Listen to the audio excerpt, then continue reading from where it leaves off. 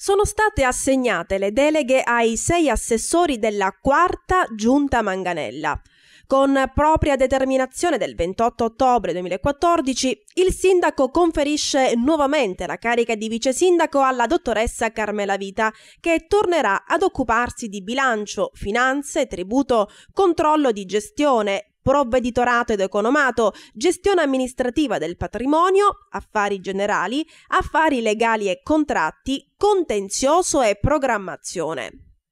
Enzo Agro si occuperà di piano particolareggiato e politiche per il centro storico, pianificazione urbanistica e generale ed esecutiva del PRG, infrastrutture, edilizia pubblica, ciclo integrato dei rifiuti, sportello unico per le attività produttive, formazione, gestione piscina e palazzetto dello sport, politiche comunitarie ed energetiche, progetti strategici per la città, turismo, scambi internazionali, comunicazione ed Expo 2015.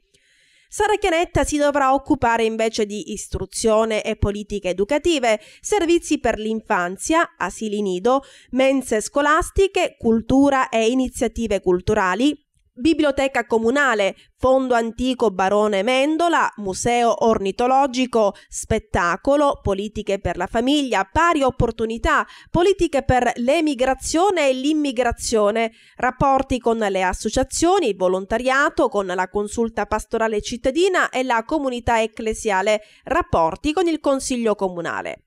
A Davide Lumia vanno le deleghe all'igiene ambientale e sanità, verde pubblico, piano e arredo urbano, agricoltura, fiere e mercati, politiche per lo sviluppo economico e per il lavoro, commercio e artigianato, sport, rapporto con le associazioni sportive, politiche giovanili, rapporti con la consulta giovanile, ufficio relazioni con il pubblico, partecipazione democratica, Castello Chiaramonte, scambi socioculturali, CED e reti informatiche. All'assessore Diego Sutera vanno i lavori pubblici, edilizia privata, manutenzione stradale, manutenzione patrimonio, manutenzione illuminazione pubblica, servizi cimiteriali, rete idrica, toponomastica, traffico, protezione civile, sicurezza, mobilità, parcheggi, segnaletica, autoparco e attuazione del programma. Infine a Gioacchino Zarbo vanno le deleghe al personale, Polizia Municipale a Nona,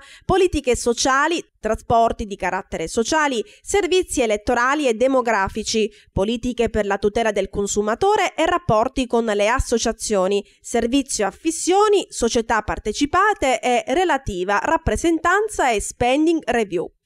Adesso che i sei assessori hanno ricevuto le proprie deleghe, auguriamo loro di poter lavorare nel solo ed esclusivo interesse della collettività e risolvere ognuno per le proprie competenze gli innumerevoli problemi che insistono in città.